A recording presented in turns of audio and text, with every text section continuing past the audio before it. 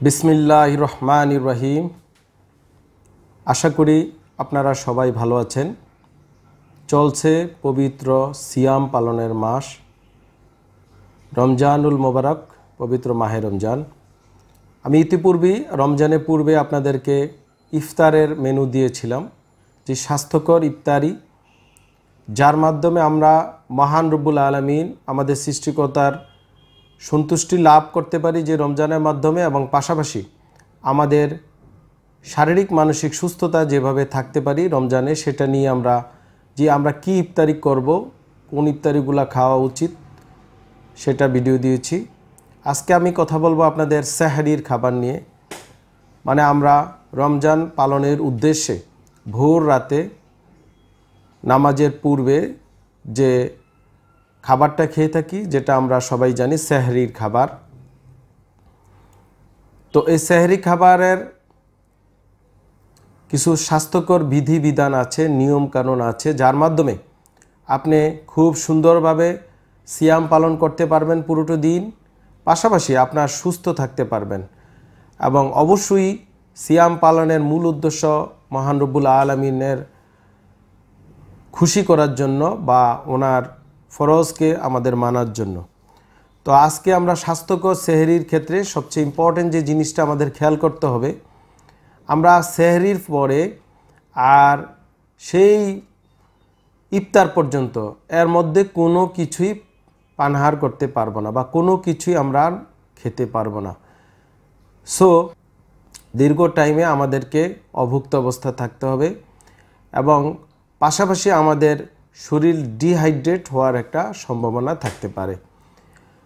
তাহলে আমাদের এই পরিস্থিতিটা চিন্তা করে আমাদেরকে রাতে সেহরির মেনুটা তৈরি করতে হবে বা রেডি করতে হবে যেভাবে আমরা খেলে আমরা সারাদিন অনায়াসেই আমাদের দৈনন্দিন বিভিন্ন কাজ, কর্ম, চলাফেরা, নামাজ, পাশাপাশি অন্যান্য ধর্মীয় অ্যাক্টিভিটিস বা কোরআন তালোয়াত হতে শুরু করে আমাদের পেশাগত কাজ, পারিবারিক কাজ ADL activities of daily living যে কাজগুলো আছে আমরা করতে পারব, খুব স্বাচ্ছন্দ্যী এবং পাশাপাশি আমরা সুস্থভাবে থাকতে পারব এবং যারা ওজন নিয়ে খুব চিন্তিত, আমি এর আগে বলেছিলাম this is the ideal month যে খুব সহজ একটা মাস, যেটার মাধ্যমে আমরা ওজন কমাতে পারি। তাহলে যে মেনুটা আপনি রাখলে আপনার খাবারে সেটা আপনার ওজন সহজেই কমে যাবে। প্রথমত আমাদের এই সময় পরিমিত আমরা কিন্তু ভাত বা রুটি খেতে পারি। এই ক্ষেত্রে আমরা খাদ্য তালিকা ভাত বা রুটি যে কোনো একটা আমরা রাখতে পারি আইধার ভাত বা রুটি যে কোনো একটা রাখবেন এবং পরিমিত।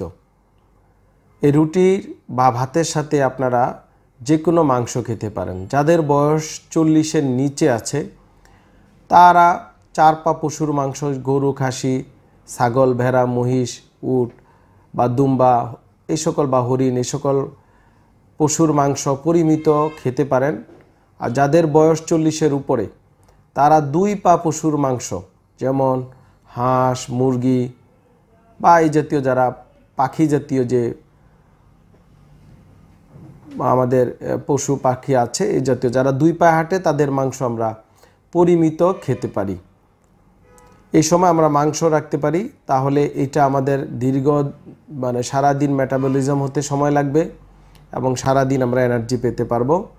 অথবা আমরা ডিম রাখতে পারি।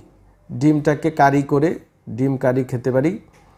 এটা কিন্তু মানে অল্টারনেটিভ বলছি আমি। মানে মাংসও খাবেন, আবার ডিমও খাবেন ব্যাপারটা তা না। হয় মাংস না হয় ডিম। ভাত বা রুটি অবশ্যই থাকতে পারে যে কোনো একটা।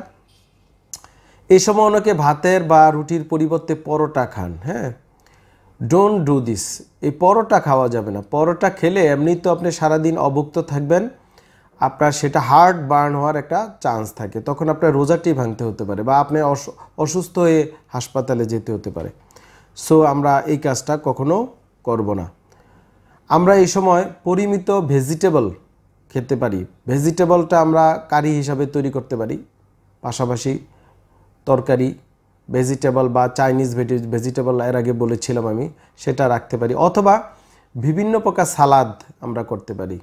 হয় ভেজিটেবল বা সালাদ যে কোনো একটা।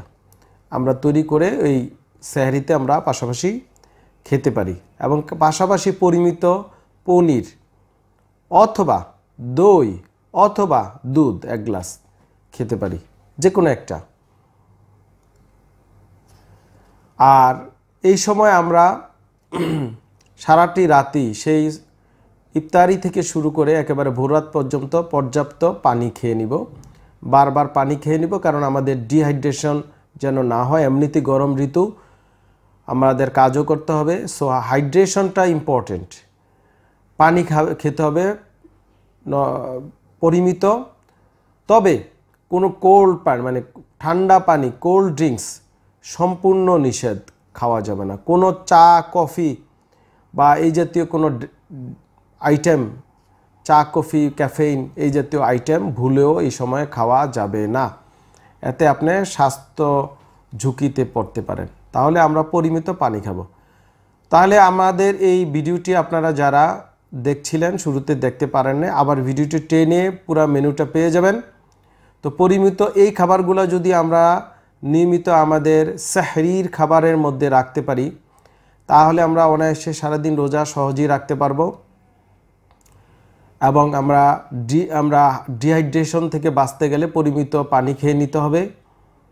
এবং কি কি খাওয়া যাবে না সেটা আমি বললাম, ভিডিওটি দরকার হলে আপনারা একটু টেনে আবার ব্যাক করে দেখবেন।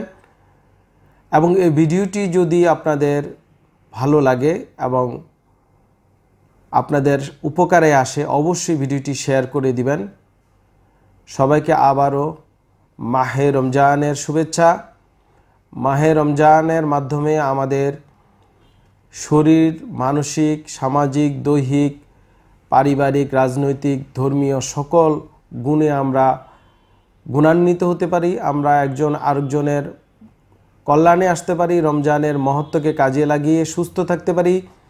সামাজিক শৃঙ্খলা বজায় রাখতে পারি, পারিবারিক শৃঙ্খলা বোধ আনতে পারি, নিজেদের মধ্যে ভ্রাতৃত্ব বন্ধনে আনতে পারি। সেই শুভকামনায় আল্লাহ হাফেজ। আসসালামু আলাইকুম ওরহমতুল্লাহ ওবরকাতু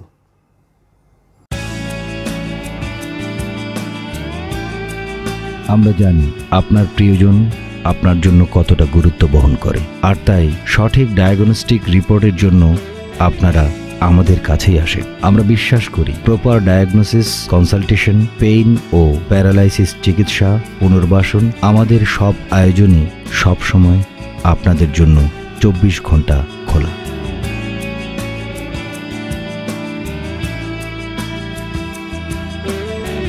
নির্ভুল রিপোর্ট অতি দ্রুত সময়ে আমরাই দিয়ে থাকি।